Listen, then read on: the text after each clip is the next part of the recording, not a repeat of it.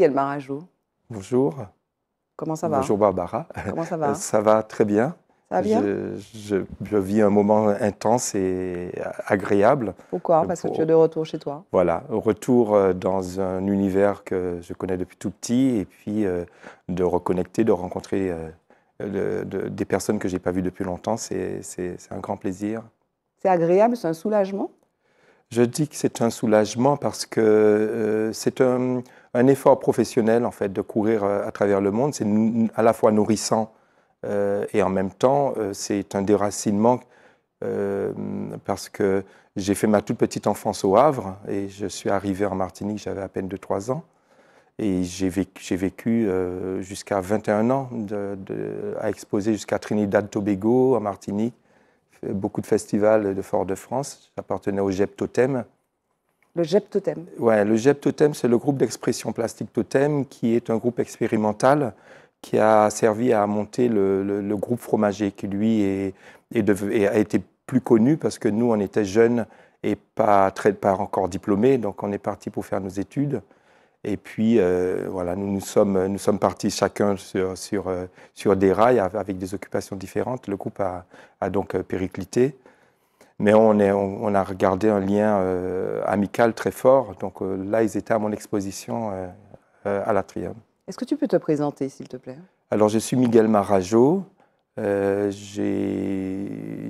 comment, qu'est-ce que je pourrais dire de particulier sur le fait que je viens d'une famille euh, martiniquaise, qui est donc la famille Marajo, qui est, qui est assez connue ici, hein, de, de, réputation.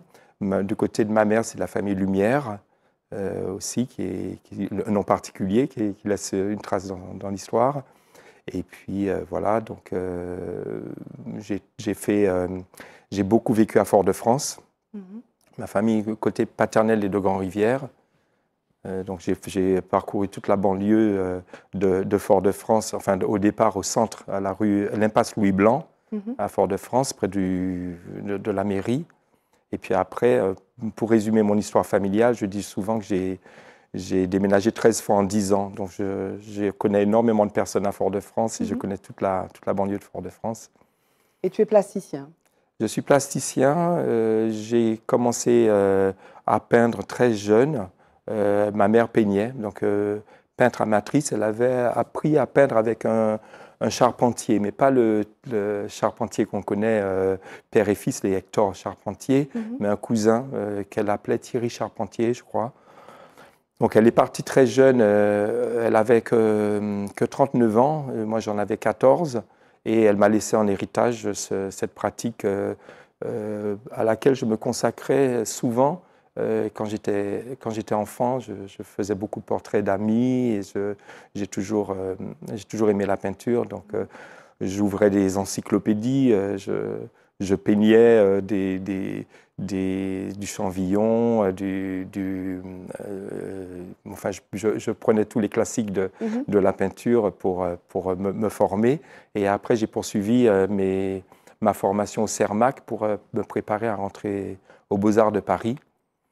Puis aux Beaux-Arts de Paris, des Beaux-Arts de Paris, après, j'avais cette frustration d'avoir été un petit peu euh, d'être pas allé jusqu'au bout au lycée. Donc euh, j'ai fait euh, une licence à Paris 8, l'université Paris 8. Après j'ai fait une maîtrise à Paris 8 et un DEA à la Sorbonne.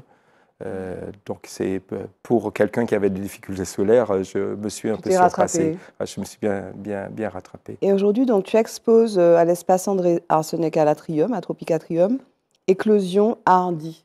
Oui. C'est une monographie. Il y a plusieurs époques en fait de ce mhm. que tu fais. Il y a plusieurs techniques aussi d'ailleurs.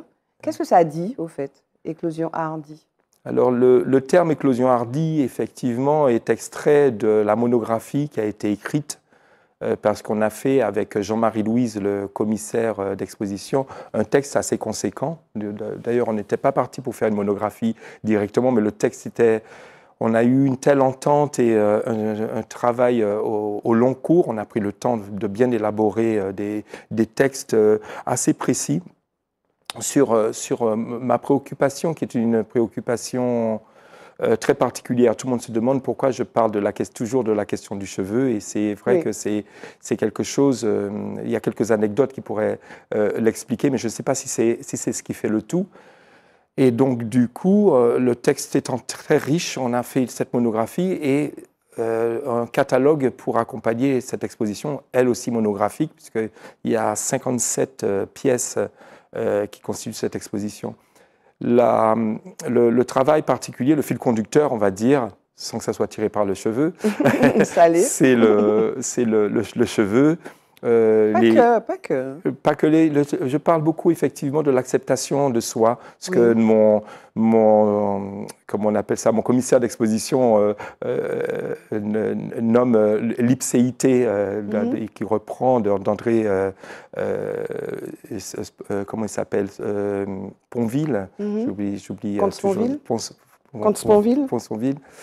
Et euh, donc, j'aime bien ce, ça me, me, me, prend bien à cœur, en fait, mhm. d'observer une, une, société qui évolue euh, très, très vite. Aujourd'hui, euh, je considère que la question du cheveu a énormément évolué. Je vois beaucoup de générations de jeunes qui ont, qui ont le cheveu naturel et qui mhm. mettent en valeur leur, leur, spécificité. Donc je suis, euh, je mm. suis quand même euh, content de, ça. Donc le travail, le fil conducteur, pour revenir à l'exposition, euh, parle, part de, à la fois d'une réalisation concernant l'aspect le, physique, mais aussi beaucoup de jeux de mots. Donc je parle de choses. Il y a beaucoup d'humour, oui. Voilà, j'aime beaucoup mm-hmm. le jeu de mots. Donc je commence par des négroïdeux pour, Exactement. pour, faire ce jeu. N-Z, gros, ouais. I2, plus loin. Juste si tu permets, je veux citer donc euh, Jean-Marie Louise qui dit Miguel Marajo réinstalle les corps noirs dans la fierté de leur identité. Il libère en eux quelque chose d'insaisissable, de brut, d'intact, de profondément humain, une réalité originelle, un espace de pouvoir. Il y a le cheveu, il y a le négro hideux, il y a effectivement ces rouleaux compresseurs qui, euh, qui effectivement dans lesquels s'enroule, autour desquels s'enroule le cheveu, mais il y a aussi l'enseignement c'est un hmm. tableau. Il y a aussi euh, régime sub-banana. Il y a des hmm. choses qui sont dites sur le chlordécone, avec hmm. toujours ces titres qui sont euh, mi-figue, mi-raisin. Comme si, en fait, au-delà des corps, il y avait quelque chose qui avait trait à l'histoire et à la société. Et quand on veut parler des corps, il y a des détails. Euh, parfois, dans les, dans les, par exemple, dans l'enseignement, il faut s'approcher et lire cette définition du dictionnaire Chabin. Ouais. C'est tout petit. Ces moutons à laine grossière. C'est tout petit. Donc c'est très petit. Par rapport à l'immensité du dessin, oui, effectivement. Alors d'où vient cette préoccupation pour ces choses qui sont à la fois du contexte global, de notre mmh. ancienneté peut-être, et puis de ces détails? Alors souvent, euh, je pars euh, à la fois sur, euh, un plan euh, particulier qui est celui de l'improvisation que j'associe euh, à l'univers jazzique. Donc je joue d'une pulsation, c'est-à-dire que j'arrive avec une je, parle de l'émotion et le, le travail part d'un jet et cette improvisation tient à un fil, c'est-à-dire que je vais arriver à une, une réalisation qui va tomber je vais retomber sur mes pieds parce que je me mets en péril euh, lors de, de, la création. Cette, cette, subtilité euh, qui nous habite, en fait, elle a trouvé des mots au fur et à mesure avec toute la, la, période, euh, à la, déjà au niveau de la négritude, puisque j'avais la chance de prendre Aimé Césaire par la main pour visiter, pour commenter les expositions du Totem. Mm-hmm. Donc on est baigné dans un milieu culturel du Cermac où la question de la négritude était prépondérante. Et puis j'ai eu la chance euh, à, la salle de la mutualité d'assister aux premières euh, réunions de, ou aux premières assemblées, je ne sais pas comment on pourrait appeler ça, euh, de, de, la créolité, où il y avait Patrick Chamoiseau, il y avait des débats publics, mhm. Raphaël Confiant et, Edouard Glissant, Jean Bernabé, fait mhm. tout ça. Et donc, j'étais pour dire que ce qui nous habite au fond, qui est de, de l'ordre du sensible, euh, peut, peut, se manifester comme ça, comme, de façon éruptive, hein, puisqu'on mhm. est, on est sur une île euh, volcanique, euh, où, on pourrait parler du tremblement glissantien, mais il y a, il y a cette, ce besoin en fait d'exprimer quelque chose qui, qui est qui nous habite et de trouver une forme de, de, comment dire, quand on parle du carnaval, on parle beaucoup de défoulement, du défoulement, voilà, d'exutoire, de libération, voilà, parfois jusqu'à la catharsis, si on, si, mm. si on pousse plus loin. Donc moi, ce qui me plaisait justement, c'est d'avoir cette liberté déjà de pouvoir, euh, de pouvoir euh, euh, m'exprimer et de dire des choses. Après, je livre cette histoire, ce, ce, qu'on raconte, ce que raconte ce dictionnaire sur le mot chabin, son origine que je mets en relation avec les registres sur lesquels on mettait les humains, les, les meubles, etc., sur la, la plantation esclavagiste mais euh, je ne m'arrête pas à une question de jugement et de, je n'apporte pas euh, forcément un, regard euh, qui juge. Je livre quelque chose pour nous amener à, une réflexion. Après, on, la garde, on ne la garde pas, on en fait ce qu'on veut, mais c'est mon, moment, moi, de, de, exutoire et c'est un moment que je vis intensément. Et puis, et puis il y a les titres, on a parlé de l'humour, mais l'humour, est-ce que c'est pas un rire jaune? Sans jeu de mots. Est-ce qu'il y a de l'humour Oui. Mais est-ce qu'il ne s'agit pas d'un rire jaune, par exemple, le régime euh, sub-banana, sans jeu de mots? Oui, mais c'est oui. Oui, il y, a, y a un régime sous lequel on est qui est un régime. Euh, alors déjà, un manège, c'est un, axe et puis euh, c'est une. Il y a le centre et la périphérie. Mm. Il y a ce jeu dans lequel on est pris, qui est un jeu aussi qui nous enivre. Les gens sont, sont dans, sur ce dessin pris dans ce manège qui est constitué de bananes et les bananes les, les tiennent comme une espèce des, des mâchoires. des harnais. voilà, des harnais. Des, Et euh, c'est, ils sont prisonniers de ça. Ils sont prisonniers de. Oui, ils sont prisonniers, ils sont, ils sont dans un rire un rire ambigu qu'on a du mal à interpréter, qui est mm. pas qui est pas franc, qui est puis un personnage qui nous ramène à nous, qui est sur ce manège et qui nous qui nous qui nous scrute, alors que les autres ont l'air d'être complètement euh, voilà ailleurs, emportés mm-hmm. par cette euh, ivresse que peut nous apporter justement euh, le, capitalisme qui nous amène énormément de biens de consommation, énormément de choses pour mais qui ne soignent pas forcément l'âme. C'est à nous de nous poser, de nous interroger, c'est à nous de, de, de prendre possession de nous-mêmes et de, de, savoir euh, où on va. Et... Les, techniques aussi sont très diverses. Hmm. Il y a de l'acrylique, euh, il y a quoi Il y a du, du pastel. Il y a du pastel, il y a du fusain. Et il y a de l'huile, il y a des, des, huiles. Euh, le, effectivement, le fusain, il y a, je peux travailler par-dessus l'acrylique avec des posca. Mhm. et puis, et puis il, y a des, il y a des mouvements, il y a des mouvements et des, des, des formes qui te sont très familières. Mmh. Ces enroulements pour faire les yeux, pour faire le nez, pour faire les bouches, des choses qui sont disproportionnées parfois. Mmh. Et tu disais qu'en en fait, il y a une espèce d'action dans le, dans le tableau. Le tableau vit, il tourne. Comme si d'ailleurs, on enfin, on n'est pas dans ton atelier avec toi, mais comme si te prenait beaucoup, beaucoup, beaucoup de temps de faire ça. Alors, ça me touche beaucoup de euh, de, faire référence à ce que j'appelle euh, un, rapport kinesthésique à, l'œuvre. C'est que je danse, j'ai toujours été un bon danseur et j'ai toujours été apprécié pour ça. je suis content quand, euh, quand on le reconnaît, mais je ne sais pas si c'est un peu vantard de dire ça, mais, mais voilà, j'ai ce goût de, la danse qui m'habite. Je suis rempli de musique parce que j'écoute la musique depuis que je suis tout petit. Le rythme est prépondérant ici dans notre culture, donc je suis habité de rythme. Parfois, je fredonne des, chansons que j'avais complètement oubliées qui me remontent. Donc, je, constate que notre mémoire est, remplie de, musique. Et, et, ce rapport que j'ai avec le trait et que j'accompagne effectivement et engage tout mon corps. Donc mhm. j'ai un jeu effectivement de, danse et de rythme mhm.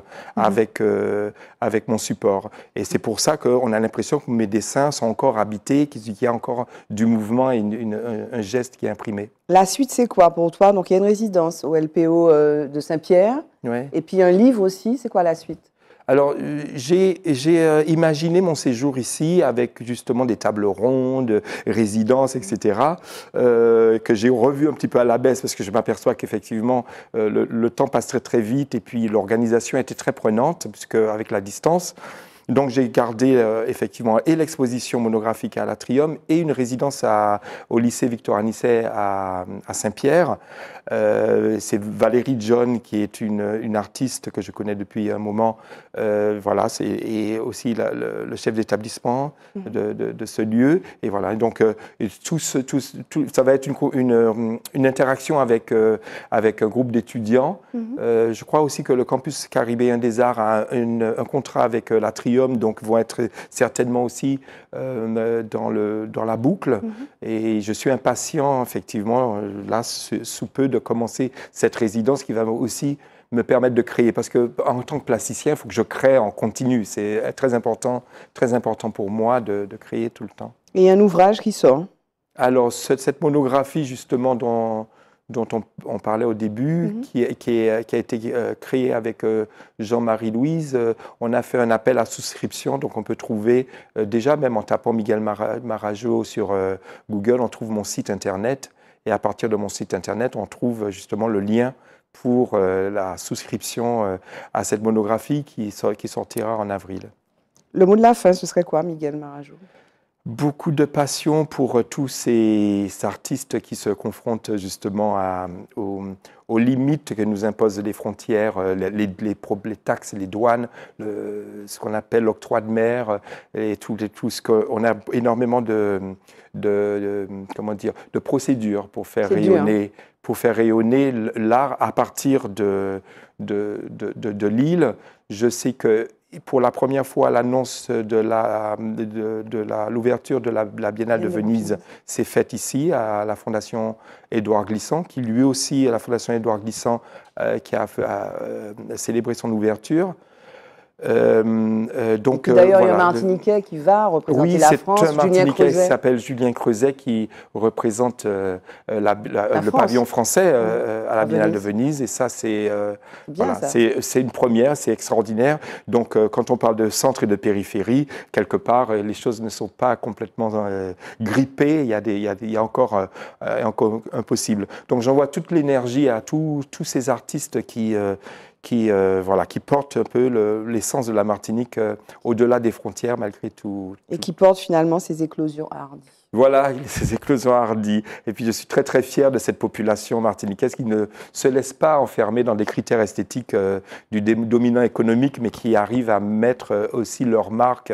C'est déjà le cas pour la musique qui est très très forte mondialement. Voilà. Merci beaucoup, Miguel Marajo. Merci, Barbara, Jean-Élie.